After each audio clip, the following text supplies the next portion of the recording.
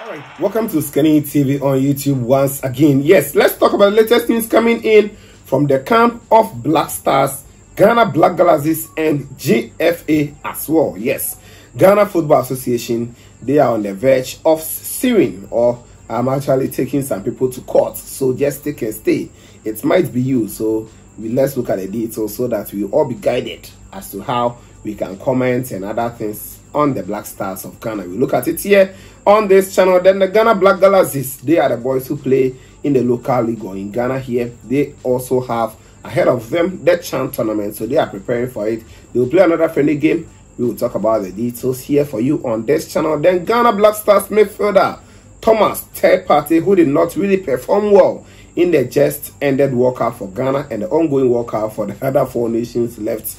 Um, he also played a game the, um, today with Arsenal against AC Milan. We will check it out here on this channel and other latest news you need to know before we delve into the details. Consider giving us a like. After that, make sure you smash on the subscribe button, put on the bell for more updates on this channel. This video is also brought to you in collaboration with Lemonade Finance. Lemonade Finance is an app used to send money to Africa. So if you are based in US, UK, Canada, wherever you are, you want to send money to Nigeria, Kenya, South Africa, Ivory Coast, or in Ghana here, just go to App Store or Play Store, download Lemonade Finance app and use it to send money free of charge. After downloading the app, use Osikani as your referral to get 10% cash back on your first transaction. When you send money to anyone in Ghana here, you're going to get the best exchange rate on the market as well. So let's quickly begin from the Ghana Black Galaxies. Yes, the Black Galaxies, as you know, it was locally or it was formerly called um, the Black Stars B or the local Black Stars, but now their name is the Black Galaxies. We qualify ahead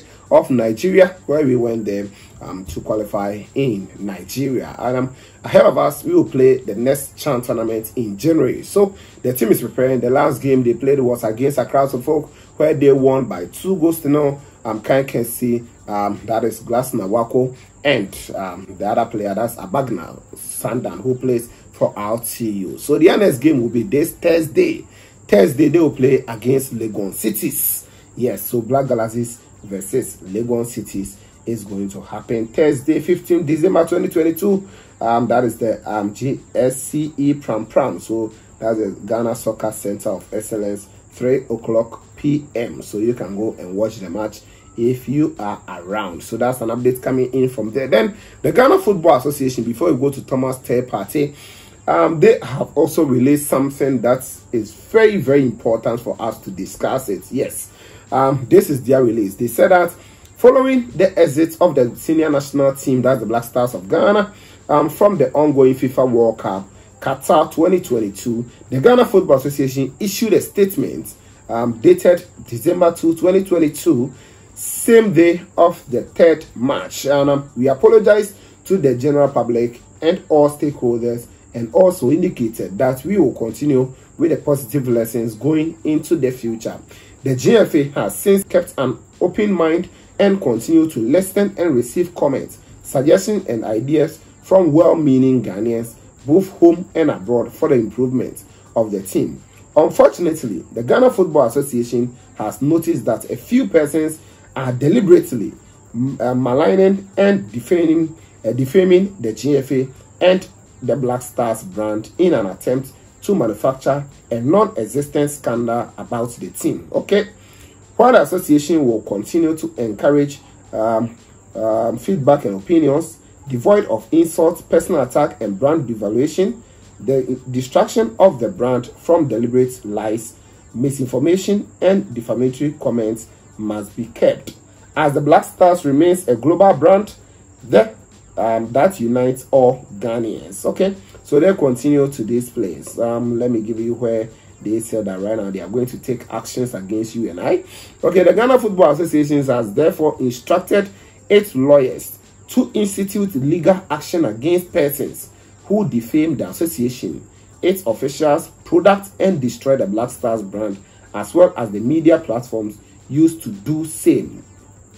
The legal forum will provide the opportunity for these persons to bring any evidence and substance, uh, substantiate their allegations. Okay, the association will encourage to um, will continue to encourage opinions and comments being expressed aimed at improving the team, and the brand. Once again, the association wishes to express its profound gratitude to all persons and stakeholders for their positive suggestions and ideas towards the improvements of the team and the Football Association, GFA Communication. So, according to the Ghana Football Association, they will now start suing some people. They announced, uh, you know, they have directed their lawyers to take the cases to court. So, if you're a journalist, you're a media house, and you are always on the Black Stars of Ghana, they are now in a process of taking you to court to provide evidence to substantiate on whatever you are actually insinuating. So a lot of people on the social media space started asking, what of the journalists who are always talking for the GFA in quotes and who are also defaming the um, you know some of the players and also putting lies on some players. Example given is a player like um, Gideon Mensah, where a journalist brought it out that um, the player has faked an injury, of which there was no truth in that. I came here to talk about it. What about those people? They've not sued them because that is also defaming that, play, uh, that player's character and other stuff. So many people are asking questions on social media that what are you going to do to those people? And the FA, are you now fed up of receiving some, you know, kind of um, bashing from Ghanaians? Or the FA, have you forgotten that you are working for Ghanaians and therefore you must account for us?